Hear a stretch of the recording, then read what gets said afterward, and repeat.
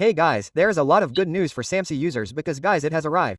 As you can see that the official beta update of Samsung One UI 7 has arrived.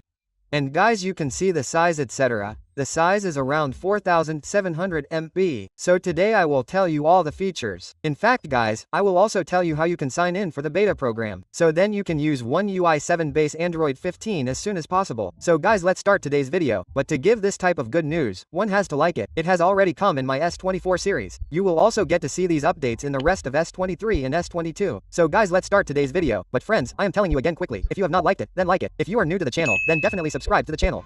So the first thing you have to do here, I will give you the screen record here. Here you have to download the Samsung MB application from Play Store or from the Samsung Store. After that you have to open it, and after opening it, I will show you. It is taking a little time.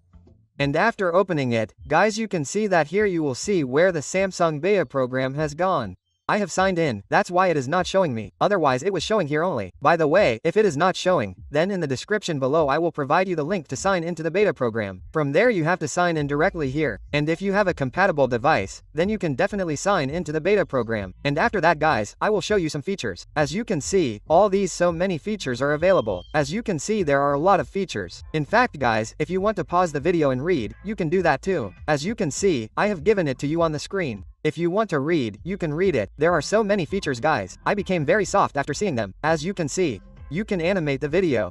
So many features guys, what should I tell you now? You can read them one by one. As you can see, I am showing you. If you want to read by pausing the video, you can read it. The rest of the guys, the size is around 5 gigabytes. In fact guys, you can also see the size of the update.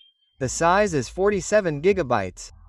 The size is 47 megabytes. That means the size is almost around 4.7 gigabytes. And guys, you can also see the new home screen and new box screen. As I told you earlier, you will get to see notification panel etc. from the bottom. In fact, the dynamic island etc. which has come in pill shape, you can also see that here. The size is around 7 gigabytes. Okay, almost around 5 gigabytes. So go quickly and sign in.